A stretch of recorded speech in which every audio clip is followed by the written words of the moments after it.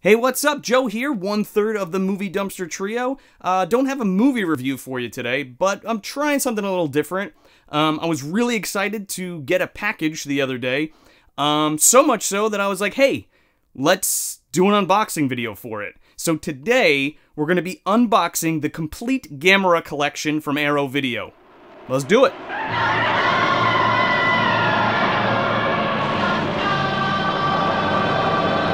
Okay, so this is the first time I've ever done this. Um, bear with me here. My B camera is a uh, Canon 5D Mark II, so I dug out that old fossil to get an A-B setup going here, a little top-down for you. So yeah, I was really excited to get this set. Um, it came in the mail the other day, and I the one of the first things I noticed was how fucking big it was, and I didn't realize it was going to be that big. I mean, we all knew that the Criterion collection, the Godzilla Showa collection, was going to be this big fucking book monstrosity thing. Um, but this, I thought Arrow was going to uh, make it in a uh, more compact uh, package. It's not as big as the Godzilla set. It's a little bit smaller, um, but it's thick. That this thing is hefty. There's a lot of shit in here. We're gonna get to it, but I'm all, I'm already way more excited for this than I was for the for the Godzilla set. Um, I did a I did a little research on this, um, and I'm pretty sure every film in this set is completely restored. Uh, no Toho bullshit. Um, so yeah, let's let's open this thing. I got my little uh, my little knife here. We have a whole set upstairs in the kitchen, and this particular knife I don't use for anything except for opening um, vinyls. And now I'm opening this with my special knife. And so here we go. All right.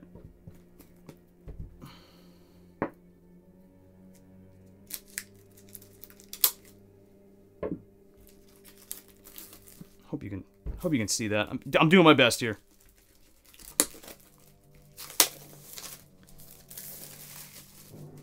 Plastic out of the way. And then of course we got this insert here.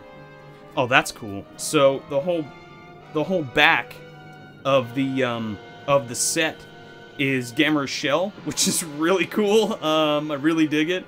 Um just first impression just of this, it's like a giant slipcase, right? So it's not it's not a book. There's no pages or anything like that. It's just it's just a it's like a giant DVD or giant Blu-ray, right?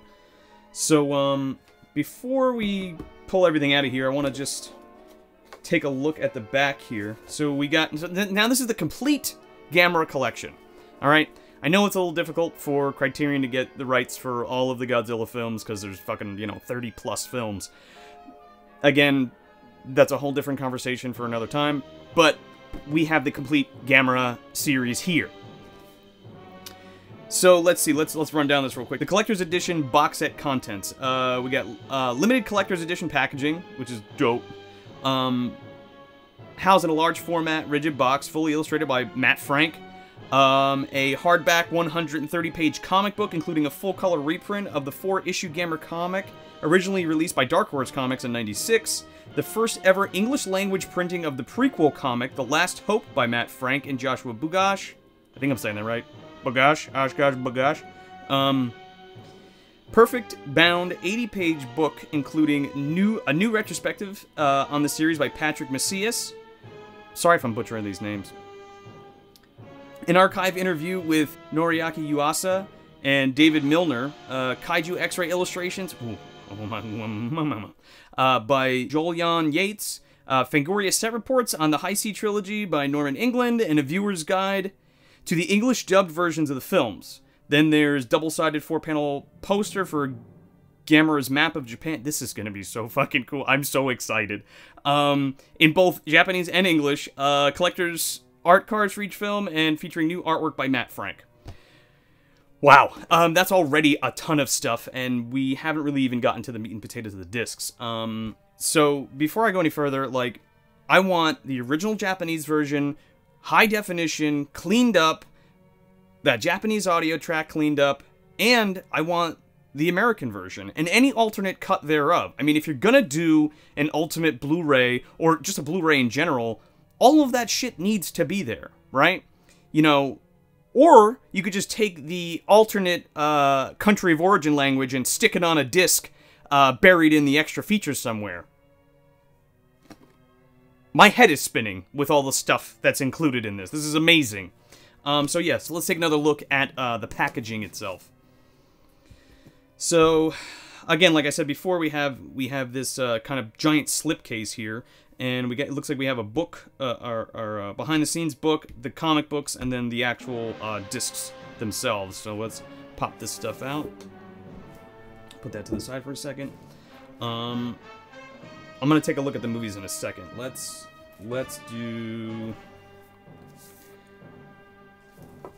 the booklet first. Oh man.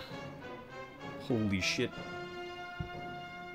Oh man. Okay, this this is pretty amazing. All right, so I don't know about you.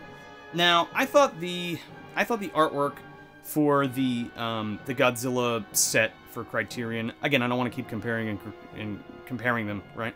But it was like all artist interpretations. This is very much like I don't know, you got some this is fucking cool. This is awesome. This is like some Edo era type artwork um, that I really that I really love seeing with all the kaiju stuff. So, um, this is just neat.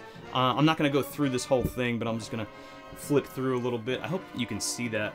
I hope I'm doing a good job of, uh, uh, of uh, seeing it. I can't monitor this thing because I don't have the right hookup. But anyway, uh, yeah, this is like the history of Gamera, and there's posters, and, and goes into depth in each movie.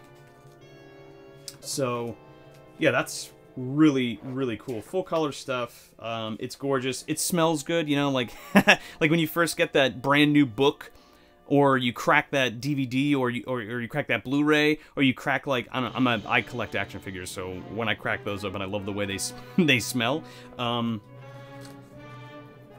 so yeah so we got this oh man these are cool I hope you can see this well all the x-rays these are fucking cool I love these so much. Oh. These are rad. I don't want to spoil too much for you, but this is what you have to look forward to. Oh, man. So cool. All right. Let's moving on. So let's check out the uh, comics collection, the Dark Horse Comics collection.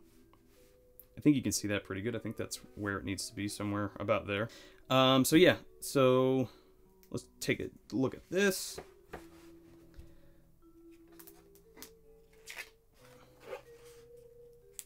Yeah, this is awesome. This is so sweet.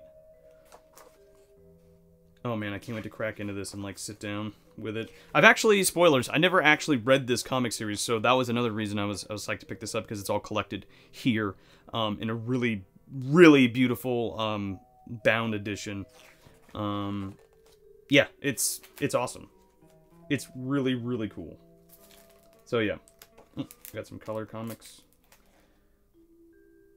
flying through the air.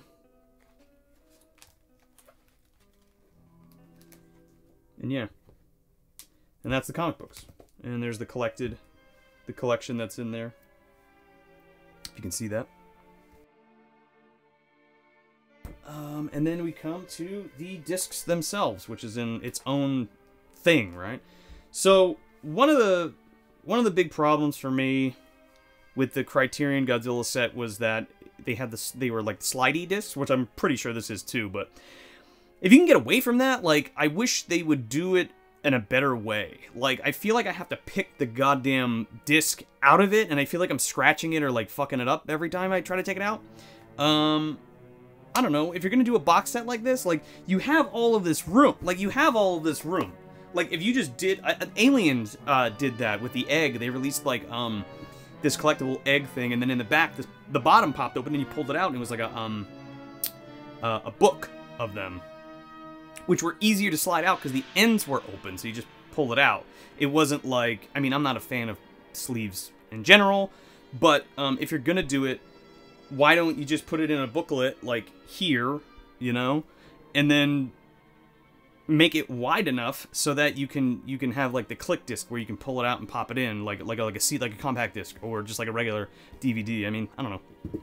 I guess you can just remedy that by putting them in your own uh, case. I've seen a lot of people do um, take all their discs out of their Criterion Godzilla case and um, and uh, make their own um, you know case for it, like a regular uh, regular Blu-ray uh, case. Um, so yeah. So here's the discs.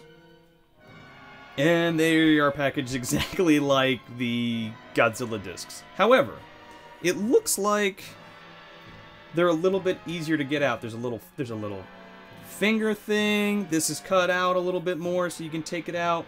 Um again like so all right, so I'm just going to try to I'm just going to see how um easy it is to take one of these out. You ready? I mean, it comes out. I, I, I can take it out without rubbing it on on it, but I don't know. I, I just don't. I'm not crazy. I'm not crazy about it. That's all. It is what it is. It looks fucking sweet though. Um, so we'll put that back in. And I'm just gonna flip through this for you.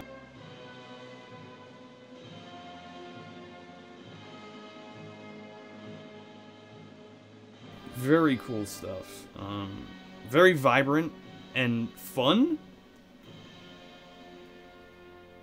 Like, I really like it a lot. Very cool stuff.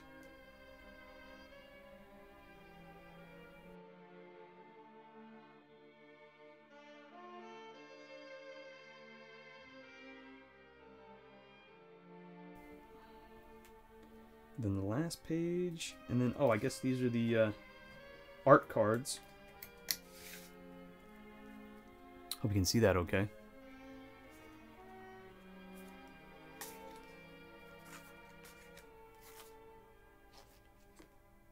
They're not postcards or nothing. They're just regular cards. It's just kind of neat to have. This would be cool to like. These would be neat to like frame. Get some of those little frames just to like fill up shit. Like, like, like. If you're hanging up a bunch of posters and stuff, like these are neat to like frame in little frames and just kind of stick in the little, hole you know, make that shit look like TGI Fridays. That's the way I like it. Fill in some gaps. This is cool, yeah.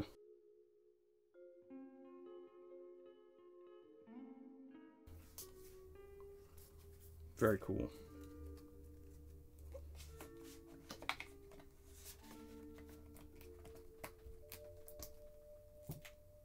And that's it that is the Gamera set.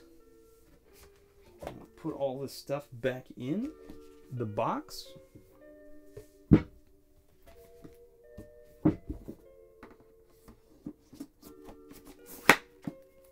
Goes away nice.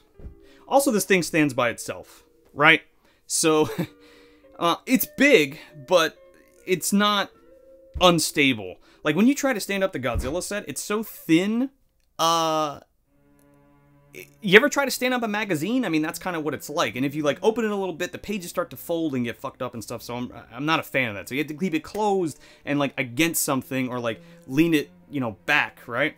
So the pages don't get messed up.